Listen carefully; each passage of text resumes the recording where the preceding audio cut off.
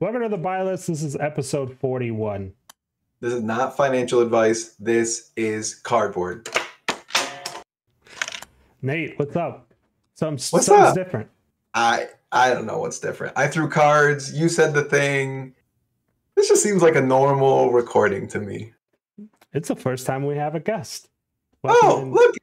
yeah, welcome in Tyler, owner operator of Righteous Gaming. Hello, thanks for having me. We we we've talked for a while, but I don't know if everyone knows who you are, what you do. So why don't you uh, just kind of give us a little bit of a rundown of how you got started, what you do in Fab, and all that fun stuff. Yeah, so uh, I started playing back during Crucible War uh, meta, back when the only thing, the only way we could play was um, through webcam online. 'cause all the stores were shut down.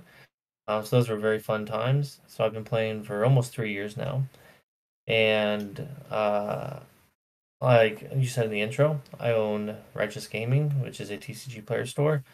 Um, currently is my full time job. So um, I'm making a living buying and selling fab cards, and um, I'm hoping to open up my own store someday. So that's the goal. That's what I'm working towards. Until then, we're just grinding it out, I'm playing fab, and uh, just having a good time. So I'm happy to be here. Thanks for having me on, and um, I'm excited to talk about what we're going to talk about today. Yeah, Yeah. for sure. Um, yeah, so you know, we're normally a market podcast. Tyler, you are obviously, as you just said, owning um, a very sizable TCG player store, wheeling and dealing cards. You you kind of have your finger on the pulse. You've been you've been in the background a bit. You know, we've like Nate said, we've you know we've been talking for a couple months now, right, back and forth, just um, you know, on cards, on Fab, things like that. What's moving, what's selling. So yeah, it's uh, it's nice to have you here. Glad to have you here, and um, we're gonna be talking about. Well, we were gonna be doing nothing but heavy hitters predictions, but uh, LSS dropped their banned and restricted list, which wasn't supposed to be a surprise at all. They told us, "Don't worry, it's just Lexi. It's just the Lexi check, and we're moving forward, right?" But then they like were like, "Oh, by the way, we're gonna change the system and how it works and when it checks." Yeah. Uh, and before we move on to that too, like let's while while we are like a market focused podcast, we are players. We love Fab, Yeah. and Tyler's no exception. Tyler is a hell of a Katsu player. hmm Uh, was it 17th, 18th at Baltimore calling? Yep, 18.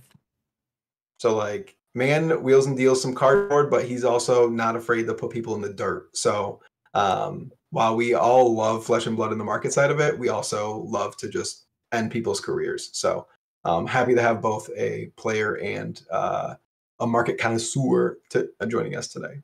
Yeah, uh, that that in that meta you're not supposed to uh, be placing 18th with Katsu. that was uh, Oldhim and uh, all kinds of nastiness flying around. Yep. So uh, yeah, so LL, uh, we had a bit of an update to the system again. So LSS is not afraid to change the Living Legends format, or no, not the format, but the uh, the system itself. So I think they've, I think it was last banned and restricted. They changed it. Um, they updated some points. I would consider the time before that. Uh, maybe you guys disagree with me, but I would consider them slightly minor, right? There was just a couple points increases. They added, I think that's when they added PTI events getting points. Um, but this time I got it up over here. They did some pretty heavy, heavy changes to the points. So World's Championship goes from 200 to 300. Um, Battle Hardens go from 10 to 40. That's a lot. Um, national championships go from 10 to 20 um, PTIs go from four to 20. and um, ProQuest Road to Nats not changed, staying at four. And then Skirmish going from two to four. Uh, Pro Tour calling U.S. national champ and um, national champs. Uh, what was that? Above 96 players stays at 40. So lots of points uh, flowing into the system. Yeah, I Um, I think it's a little bit of an overreaction to like Lexi being like. It seems like this would have been great for this ProQuest season, but I think a lot of people have voiced criticism, and I think it's a little bit of an overreaction to have the check every Monday. Um, oh yeah, that's the second half. I yeah, the the points are one thing, and then the you're right, Nate. The um the other big change, the second half of the changes, instead of checking at every banned and restricted, they were now checking every Monday.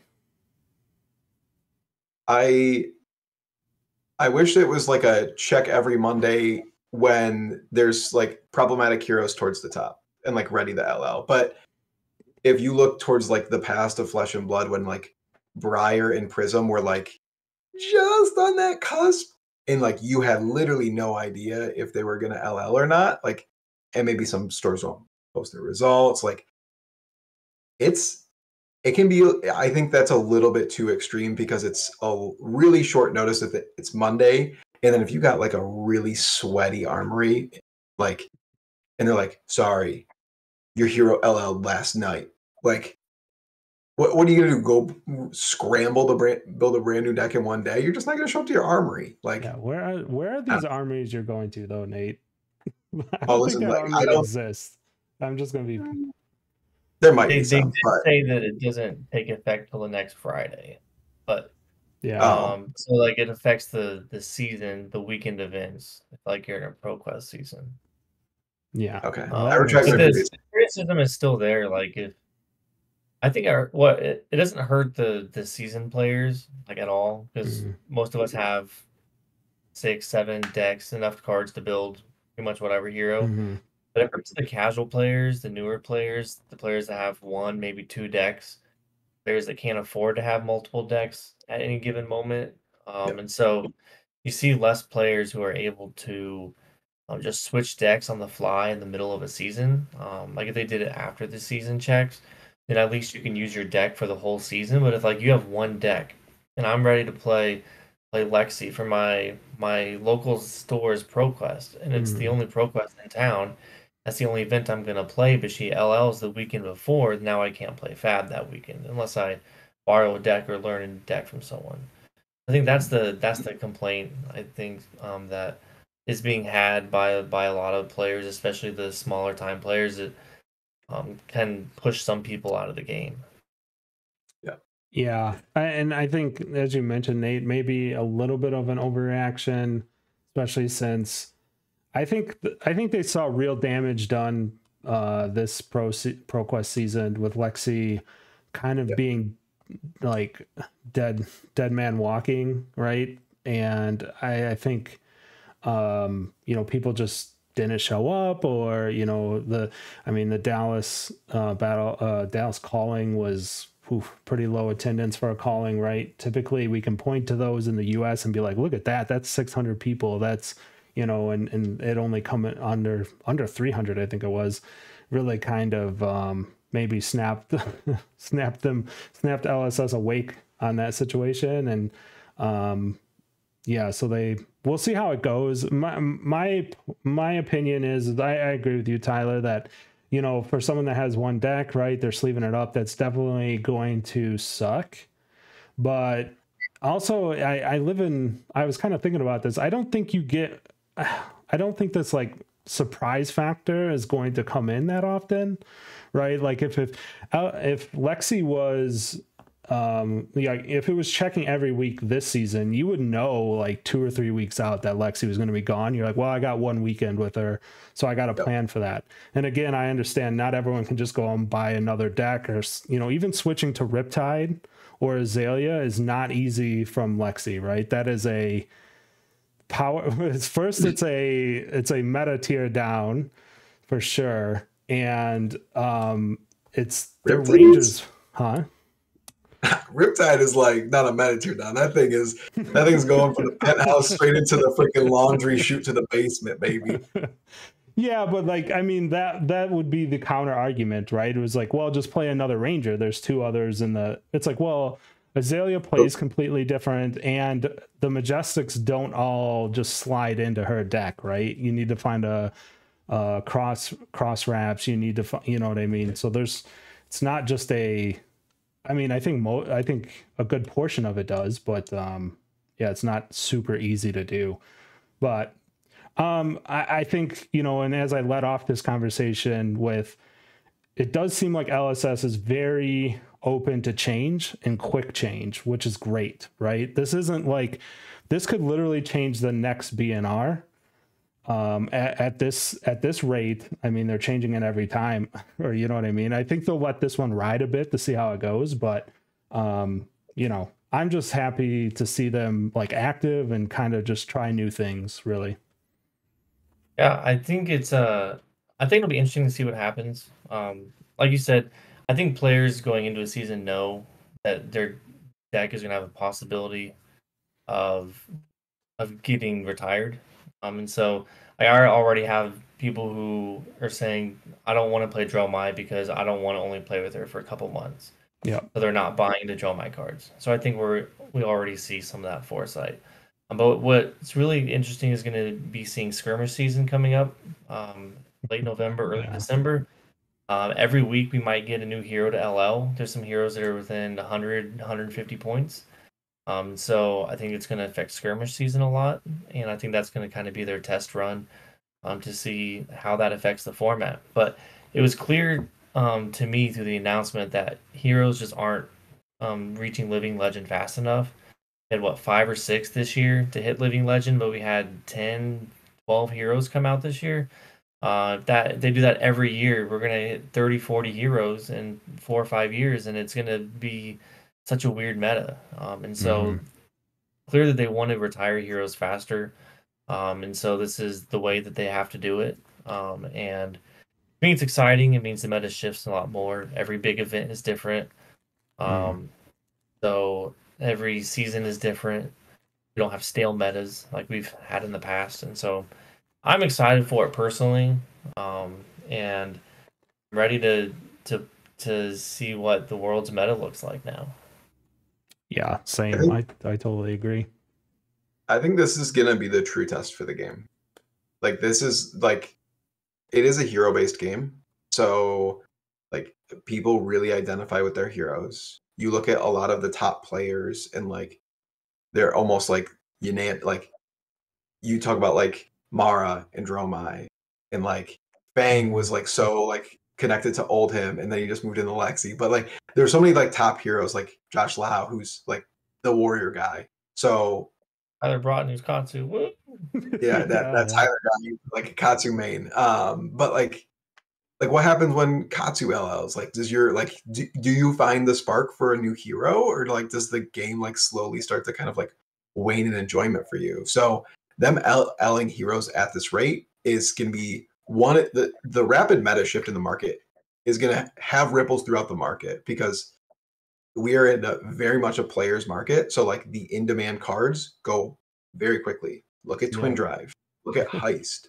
Like yeah those cards are humming right now because Dash just lit the world on fire.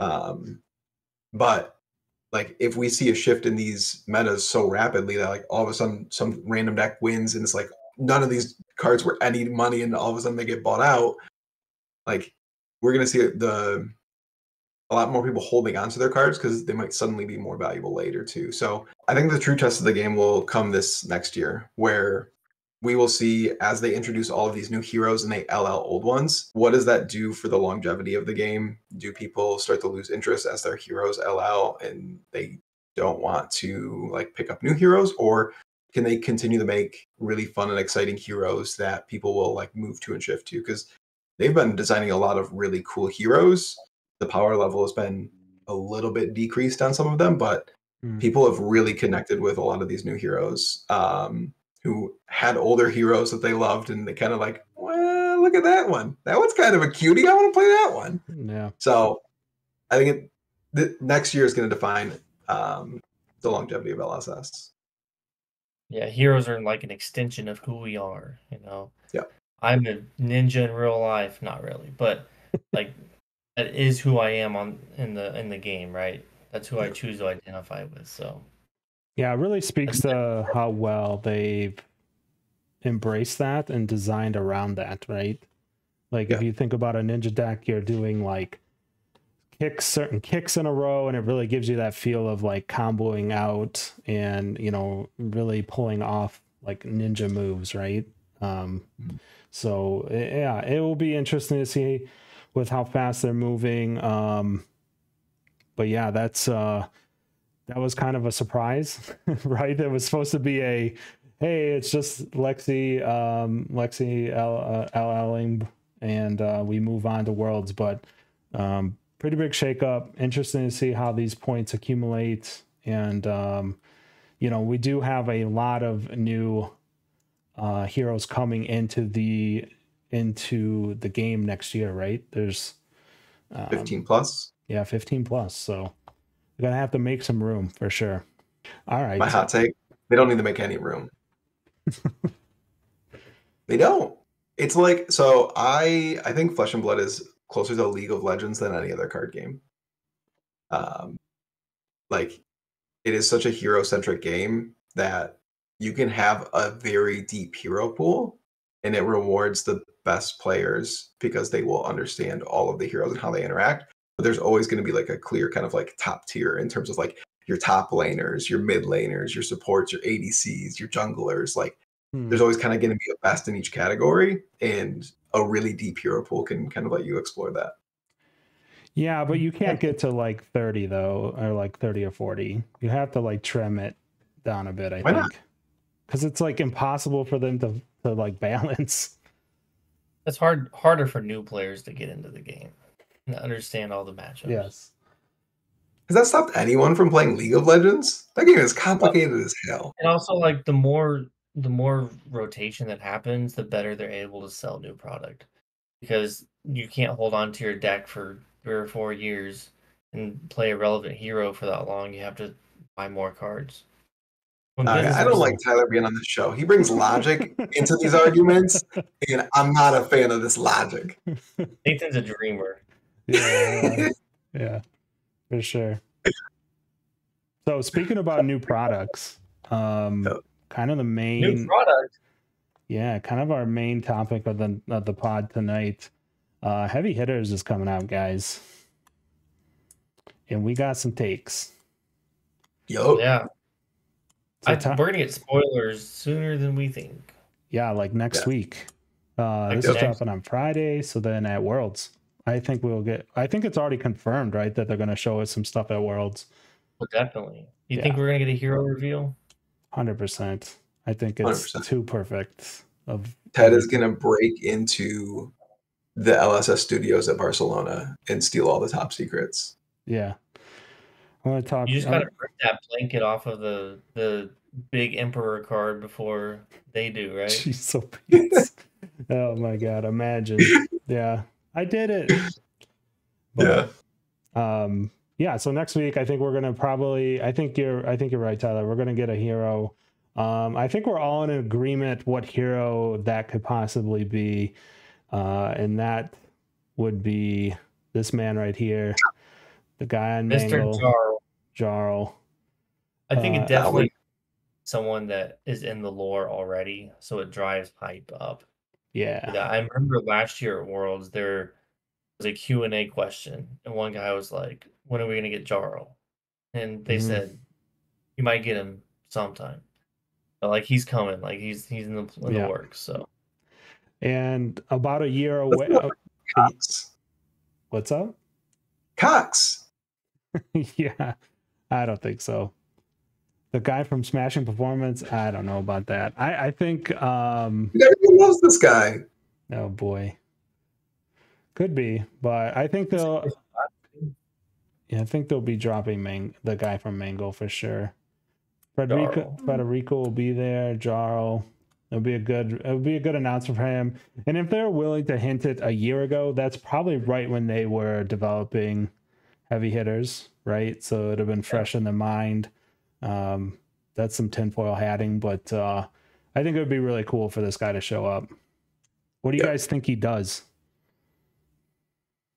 I mean, I think he has something to do with equipment hate. I mean, you look at all the cards that he's on, um, like Yep. Mangle, the Buckle, um, like they all have to deal with like hate and equipment.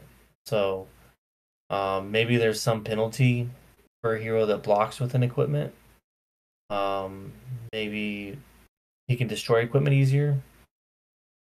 Yeah. Maybe, maybe. they don't give us the text at all, and they just say, "Here's Jarl," and they don't spoil the text. You know that. yeah, probably that's definitely possible. Dude, that honestly, you just showed Jarl. Everyone's gonna get hyped. Oh yeah. that's all you have to show. Um, yeah, maybe I don't know. Like I know every idea that I'm gonna come up with right now in this pod is like probably overpowered, and I'm gonna get laughed at. But like maybe it's like temper yeah, armor gets. Yeah, yeah. Nate goes. Nate goes pretty hard, but like maybe when you block with armor, it gives you two ta- two counters or something, or you know, may, there's something something to do with it. That'd be kind of thematic. Um, but I don't even think they necessarily have to do a theme like that, right? He's also on pulverize too, and that's just negative to attacks. So maybe he's gonna have some big dumb attacks. That's all I know. Yeah. Yep. He's on Col- the what is the new card from the Professor kit? The Colossus. Um, I do not know those cards. That's the one hero out of the uh, set that I haven't played. It's like if you if it attacks for 13 or more and hits, I think you destroy a piece of equipment. Which is oh, like yeah. very on yeah. I just like I,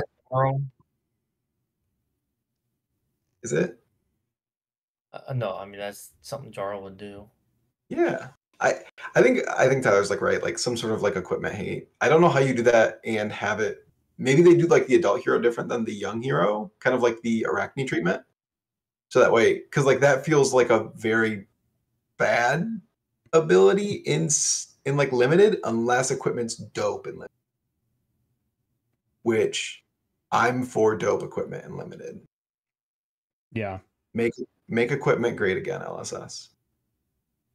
Colossal bearing that has 13 or more attack. It gains when it hits a hero destroyed equipment they control with one or less defense. Boom. That's for eight. So out of pummel yeah. range, so you have to do something besides pummeling it. Yeah. Big pumps. Big pumps. like I, we've already seen like the the spoiler cards that we've seen are the one that creates might tokens, which would also be like very on brand for like throwing like really big attacks. Um, agility and I forget what the other thing was. It sucked. It didn't matter. I just looked at the brute cards to be completely honest. And do you think do you think any heroes are going to be reprinted? Like, you think we're going to get like a a Rhinar or a Dorinthia? I mean, everyone's wanting a new hmm. Dorinthia. Yeah, I think I don't know if we'll get uh like a reprint or like an upgrade for Dorinthia. Maybe you know I've heard some Kassai talk, right? Like oh maybe there's an adult version of Kassai. I don't know if that they would maybe have to do a different hero ability for her. I could see um, them adding in some of the older heroes like Dorinthia, uh, like they did on Outsiders, to make the draft um, you know that kind uh, on different axes like they did with outsiders right with katsu and azalea. So you think um, six or three? I would not be surprised if it was six to be honest yeah. That would be kind of cool. I think i mean with outsiders the... was pretty was pretty solid. I don't think it was like the i think uh bright lights is a pretty good evolution of fab drafting. Um but I think Outsiders definitely upped it from Uprising for sure. I think Uprising was, we can look back on Uprising and all agree that it was a, oh, it wasn't my favorite draft set. I don't know what you guys. I don't know. Uh, Uprising draft treated me well, at least in terms of Elo. Yeah. Yeah, but, it was. No, I think, it's a fine I think set. It, it was yeah. fine. Yes. It just it just cooked too long. I think that the Outsiders draft experience was a good one, and I think they want to replicate that. So I would not be surprised if we get six. Um, I it, the other thing is they said 15 plus new heroes next year. So and we're getting four sets. Yeah. So we might get like I don't know that they want to add more intimidate into the game, so I find it hard to believe that they reprint Rhinar. Um, so they we might get like two brute heroes, a Dory, a young Dory reprint. Dory's right because then they have to print Dawnblade in the set. Not necessarily. They could give her the Arakni treatment. Yeah. But her, all of her lore is based around like Dawnblade. Um, and they could give her like Dawnblade super resplendent. Just keep Like Just I don't know. another Dawnblade name. Yeah. Yeah, so I Uh, I think that this set's gonna align a lot with crew. I think that we get some of the crew weapons in limited for the first time. Sledge, sabers, mandible claws. Um, because those are iconic weapons Mhm. that haven't been in a limited format. So, um, if we get a Kassai reprint, get her in a in a limited format. Um, I mean, they already put Benji in one. Um, we could Mhm. we could get Kayo um, in the set as well. I think it might mirror Crew a lot in printing Gerald when he first um, showed up in Crew. Uh, I think it could have a lot of uh, mirror with that Crew set. I I I agree with that. Like the fact that we also saw like our first tokens, we saw cash in there, we saw copper tokens and crew.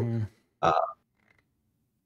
I I there's no way they put Kayo in a limited set though. There's Yeah. zero Yeah, yeah. That's probably true. You can't be Uh, compet- competitive with him. yet. Um You can't you can't have him in in a draft at the pro tour and just have him beat someone because he rolled a five or six. yes, yeah. Yeah. exactly. Yeah, you can't have that. What do you, like what do you think about like reprints though for like I, you were saying like the weapons, but what other reprints do you think we might see both in set and like in the expansion slot? Cuz like I I don't know, if we're seeing all these big dumb attacks, I think we're going to see CNC come back in the expansion slot. Might even be main set, honestly. Um I think that's that's pretty accurate. Yeah, it Oh, could I think- definitely fit in both. It can fit in the expansion slot or the main set, I think. Yeah, CNC needs a reprint. It's like the one majestic from the older sets that is still pretty expensive and accessible for newer players that don't have those cards yet. Yeah. Yeah, I and I think think, it, uh.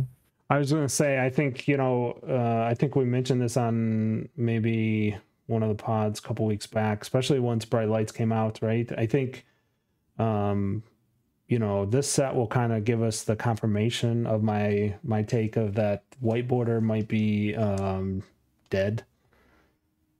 Uh, Yeah. It seemed weird to me, you know, I- not to go backwards here, but you know, tech we saw Teklo Foundry Heart reprinted, we saw Max V reprinted. Um, I think you know we can look at the reprints in this set, right? If there's a CNC in there that was a white border card, now getting a black border treatment again, um, you know that's a I would say that's a heavy indicator that um, they've moved on from the history pack product.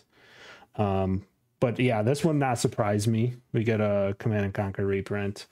Um, so with that being said, like you, uh, you just mentioned a couple cards, right? Cash in, things like that, that are kind of, they're kind of staples. You know, you look on TCG Player, you know, non-foil unlimited version. Crew is like very hard to find.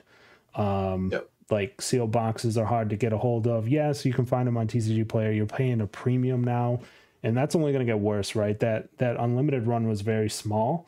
So you're seeing like rares from the set, Mauvrion Skies, things like that, um, creep up in price. And um, obviously, you won't see that card in this set, but I think they'll start to maybe target that set for reprints.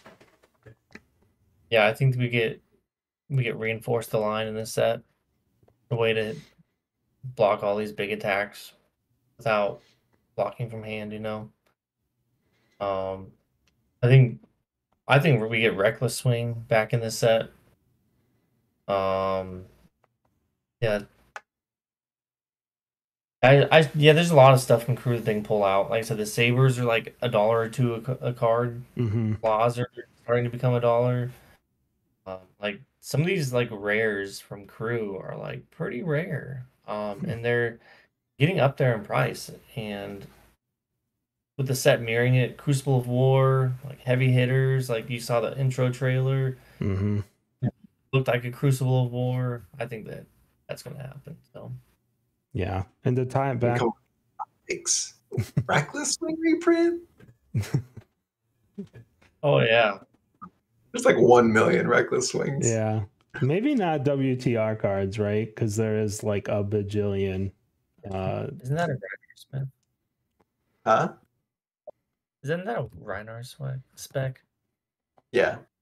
Yeah. Oh, it's not. No, Not no, no, no, it's not Swing. because Levia can play it. Yeah.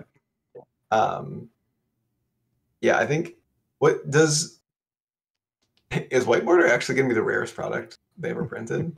that would be funny. For real? It's I always supposed to wanna- I be. always want to open whiteboarder for singles, but like it's just like expensive, you know. I I will say at the ProQuest, um, oh, I didn't even bring it down with me. I won a ProQuest this weekend. Um, I forgot to bring my gold okay. flow down, I but didn't even. I've never I've never seen so many whiteboarded CNCs. Which is like not a knock on the players. Ted would call them peasants, but I would not. Um, they, I eh, like it's just like newer players getting into the game and they just buy whiteboarder because they don't care. Um, and it was I swear like every every person I played had whiteboarded CNCs, and I was like I didn't know there was that many whiteboarded CNCs, but like half my it- deck is whiteboarder. Yeah, dude, I I love sneaking white borders in. Yeah, some cards look really good with it for sure. Yeah. Um, Not gonna lie, love the white border. It's a tilt factor. Yeah, so Ted calls me a peasant. every time. psychic psychic damage, you know. I Um, had someone actually get me for running white border. I was like, "That's what it's there for." like that's that's too much. But um yeah, I mean, I think, you know, heavy hitters it's um yeah, I don't know. It'll be an interesting set. I think you know, um Bright Lights kind of was a surprise. I think heavy hitters is going to be you know, hey, we did this thing with tanks and mechs and stuff. Let's get it back to let's get it back to the what you what you knew and what you know and what you love. Let's do some Crucible of War. Let's do some WTR stuff, right? And uh, I think the, What do you think about the wager system? oh yeah, so we we did Randy- get a wager uh, wager keyword. We don't know what it does just yet. We just know that it's on one of the spoiler cards. Um, yeah, that could be really interesting. We saw that in the key art um, of heavy hitters, like you said, like a Crucible of War or like a Gladiator Pit. Um, so there can definitely there could definitely be some mechanics around, you know, gold, silver, bronze tokens, things like that. And gambling in a flesh and blood set, I love it. yeah, And we're Yeah. you into a gambler. Yeah, yeah, yeah, yeah. We're gonna. It sounds like we're gonna be doing some gambling for sure. Um, I think you were talking um, about maybe interacting with the armor and how that works. Um, you know, you can buy, kind of in a sense, buying new armor or like equipping armor with, you know, paying paying money for it, right? As a gladiator would possibly. Yeah, I think I think maybe you can just you got to start the game somehow with with currency, with money. Um, maybe a basic equipment like a Helios miner type of equipment that start you start the game with X copper, one copper, two copper, maybe one copper per equipment slot that you have. Um, and over the course of the game, you upgrade those tokens into silver or gold, and once you can up- upgrade them by wagering, um, you can start to use some of those payoffs, like we saw with the spoiler card. You can instead of paying the cost, you can destroy gold.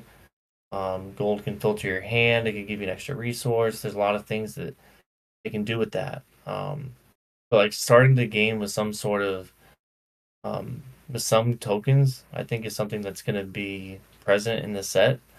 um, and it's something that you're going to be able to play around with in the game to try to gain more of those tokens. Um, the one card also said if it hits, create double the tokens that you would receive. So um, that's like extra money that you get from hitting a hero.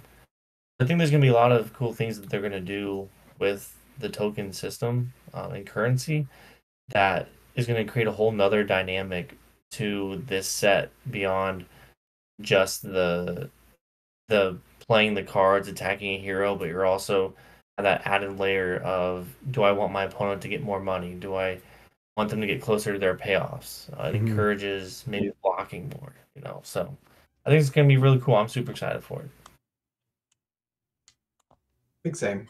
I'm I'm very excited to see what they do with it. I think that it would take a lot of tokens, but like like you said, almost like a Helios Smiter, but like in your inventory, where like once you hit four copper, you can like then equip like this headpiece, and this headpiece maybe like block one, blocks one, or gives you an intellect. Um, but even from like the spoiler cards, I think that the the way they want the game to go is they're they're trying to force you into like not just blind aggro where it's like you want to like set up your power turn. So like the one card creates might tokens based on how much how much damage you do, and then the what is it du- a double runner where you get go again if you already had an agility token, and then uh, creates another agility token. So like you're continuing to set up these like kind of like wild turns that um, can go above and beyond fatigue, but also aren't like just like straight brainless aggro like Fai was, where it's just like you play every hand that you get and you never hold anything back. Where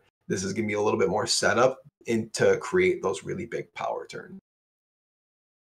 Yeah, it makes a so, lot of sense. Could be. It sounds like, I like what we saw bright lights.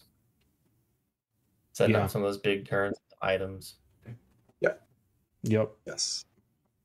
Yeah, for sure. I, I'm excited for it. Um, I know Tyler, you are coming to Worlds as well. I'm flying out here next week.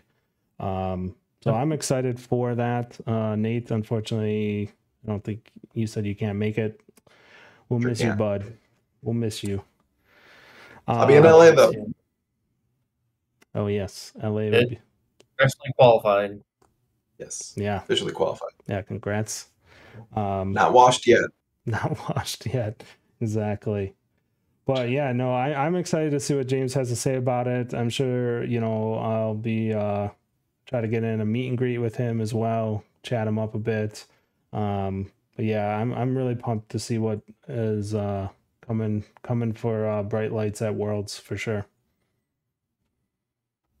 Yes. Yeah, it'll be a good time. I'm excited to see the Living Legend format. Oh, see yeah. what meta is just a bunch of Starvos, or if it actually has a meta, you know. So um, that'll be fun. The first Prism statue and oh, yes. Marvel Prism out in the world. You guys got predictions on price on that thing? Twenty grand plus or minus. Dude, I don't know that we'll ever know how much that thing sells for. That's uh at least right. They said there's gonna be fifty of them, so yeah. A hand like a handmade prototype by Weta Workshops or Workshop is like kind of wild. Um, if yeah. if the viewers don't know, that is Weta is like known as the the pinnacle prop maker and um, movie. Uh, they're they're known for uh, Lord of the Rings, all the props in there, all the armor, all the swords. Um, they are insane. So when they announced that that was a Weta statue, I was like, whoa, that's crazy. So very cool. It's gonna make that battle hardened very sweaty. Uh, very sweaty. I had no idea what you just said, but all I wanted to say to it was nerd.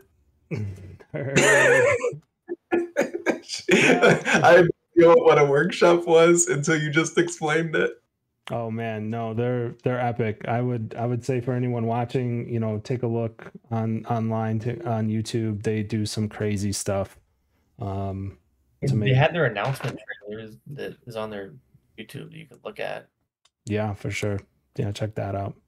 But all right. Uh yeah. So I think that's gonna I think that we can wrap it up here. That's gonna do it. Um, Tyler, again, thank you for joining us on this episode. It was a lot of fun. Appreciate we, it. we should uh we should have you back. We should have maybe we should do more guests, Nate.